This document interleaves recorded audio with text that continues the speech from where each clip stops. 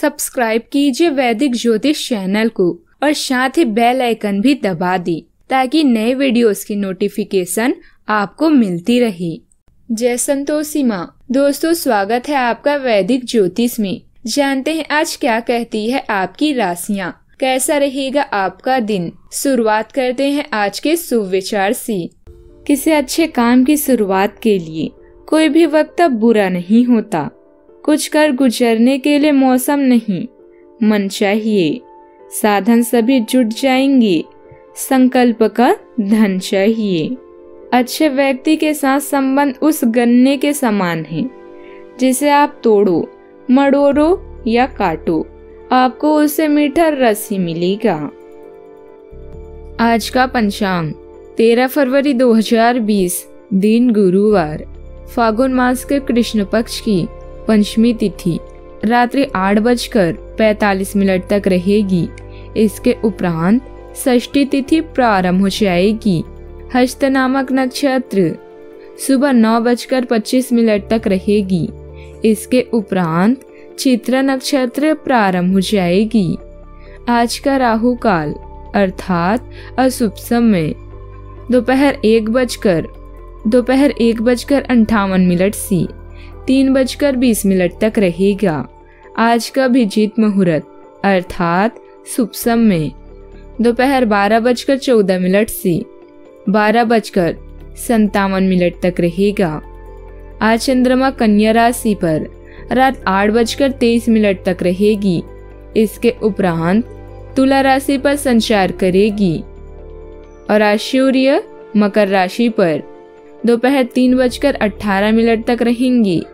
इसके उपरांत कुंभ राशि पर संचार करेंगी।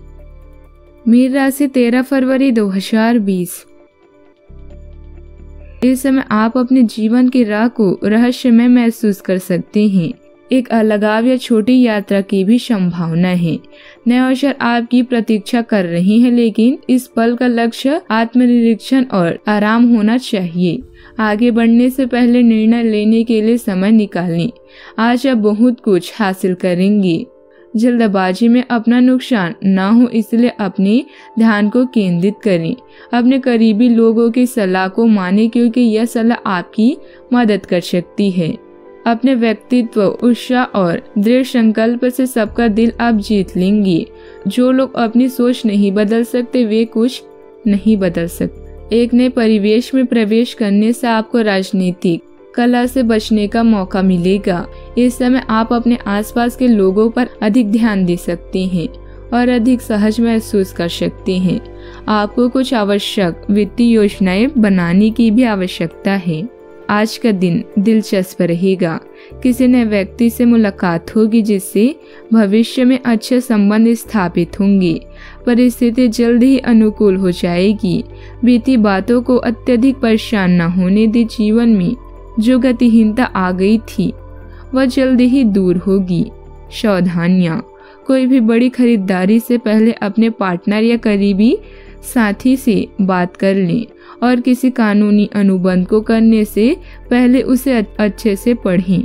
अभी उन निजी बातों को निजी ही रखें जिन्हें आप किसी से भी बांटना नहीं चाहते और अपनी असुरक्षा को किसी अन्य के साथ साझा ना करें।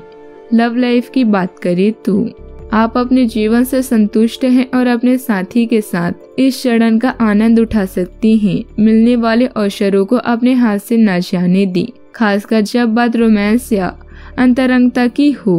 प्रियजनों की सलाह पर ध्यान दें क्योंकि आपको इसकी सख्त ज़रूरत है। आज आप अपने लवर से अपने सपनों के बारे में चर्चा करेंगे।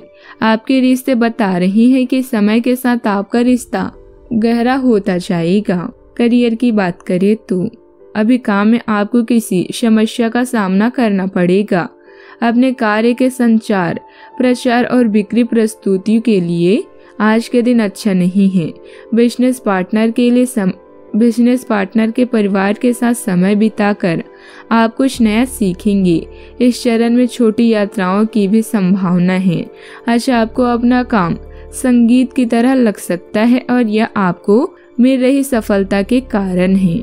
सेहत की बात करें तो आज आपके मन में अलग अलग तरह से व्यायाम करने के तरीके घूमेंगे।